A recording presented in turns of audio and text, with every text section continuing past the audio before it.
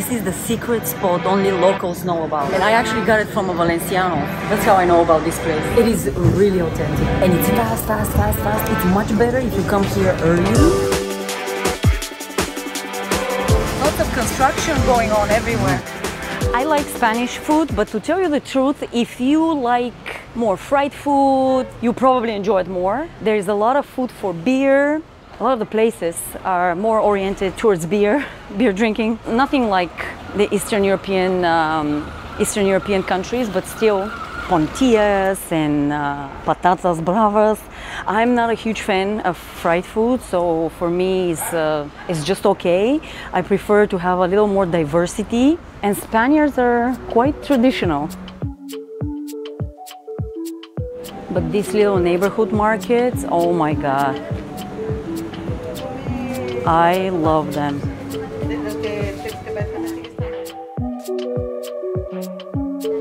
This is my favorite place where we get some of our food to go. It really a lot of things are cheaper than buying groceries and it's prepared, it's cooked every day, it's fresh, it's so good. They have fish, they have paella, they have meat dishes, they have salads, desserts, everything. So come on in. Ah, Hola. It seems like today we're arriving a bit late to everything. The best time to buy from these places is between 10 and 12 because the food, again, it's cooked every day. They take out all the dishes early in the morning and it's pretty much for lunch. We buy for our lunch and dinner. So, like four dishes, normally we spend about 20 euro, sometimes 12. It's pretty good. In many cases, it's much cheaper than groceries. And it saves you time because you don't have to cook every time.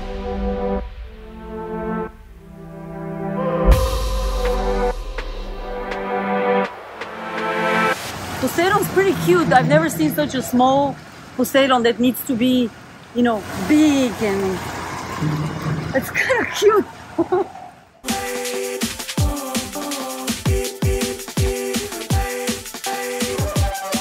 They have a few really good Italian restaurants on this uh, little street. Should we, should we walk in and check it out?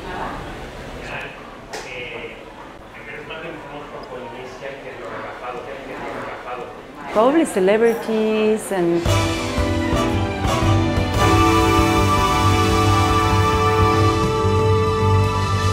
So open only for lunch, but it's traditional Spanish place. Good, we discover things every day. And of course, the cheapest thing is to buy from the well-known grocery stores. We're gonna grab a few things and cook it home. That's your papaya.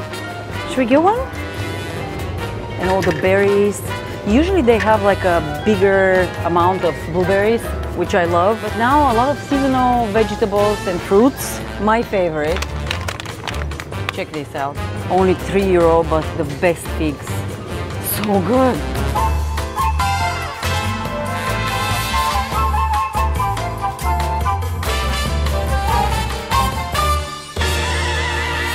It is 10.30 at night and we're going out for dinner. That's how the locals do it. So uh, we're gonna have dinner at uh, Saona, which is a big chain. Good food, great prices. I've tried their menu del dia only only daytime, only at lunch. I've never tried it at night, and I am I'm expecting to be good because I, I know overall uh, what they offer. So let's see. I think it's a little further down. A lot of delivery, guys. I think we're right on time. So many people, and today it's only Wednesday, and they just told people that did not made a reservation that the, the wait is like an hour. So it's, it is basically, it's kind of menu del dia, but it's menu del noche. Monday through Wednesday they have set menu, and then for the end of the week it's a little bit different. But it's uh, pretty typical. You start with a few small bites. I had those at lunch, so I know at least these are amazing. Some salad, some Russian salad. This is hummus with aubergine. I've never tried that. That's maybe really good. What do I want for the main course? I'm gonna get the tacos with the tuna tartar, and then oh, they have vegetable cannelloni. Maybe this. pasta, they have chicken. Okay, so that's that is a new thing. I've never tried this one here on the menu. It's like a zucchini zucchini pasta. So there is no gluten. Trying to stay. But what are we complaining about? Today I caught myself again complaining things are not open or things are open really late.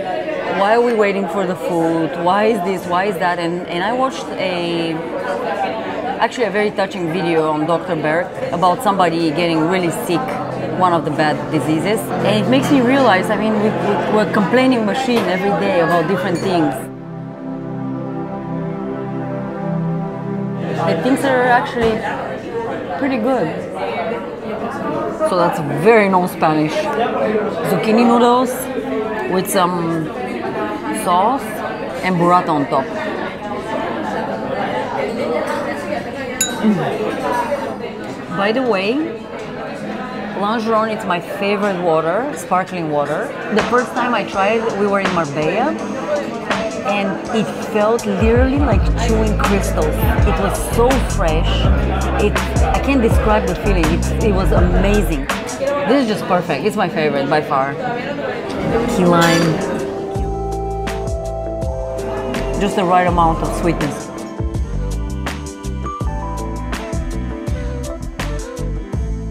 Well, now, now it's excellent, the weather. It's a little humid though, but it's not bad. This is the secret spot only locals know about. And I actually got it from a Valenciano. That's how I know about this place. So messy.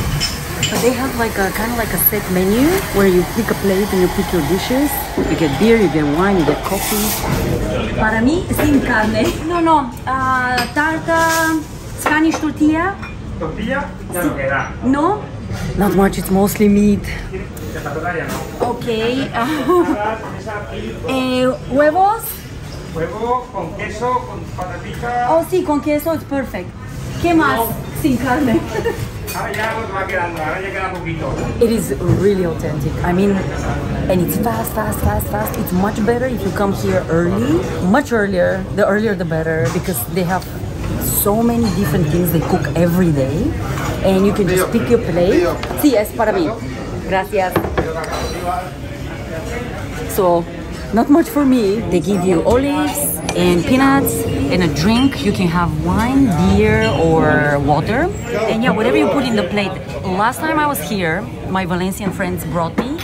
We were charged 5 euro for the whole plate with everything you pick plus the drink plus everything and then you can order a little coffee and they give you also a small chupito like a shot a digestive i think my valencian friends will be pretty upset that i'm broadcasting this place because they love it here it is very central if you come early you can have one of their specialties which is calamari uh, bocadillo tostada it is really not vegetarian friendly. Let me know if you want me to do a video just about vegetarian, vegan restaurants and places. Let me know in the comments. But if you want to eat authentic Spanish food, these are the places. If you want to find some fish, some calamari, you have to arrive early, as I said. If not, he, they're so fast, so you have to, you know, this, this, this, this, this, that's how you have to order. He still did a good job. He did, he put eggs and he put some, uh, some cheese on top, so that's not bad. But yeah, definitely not vegetarian friendly. Bread's ready.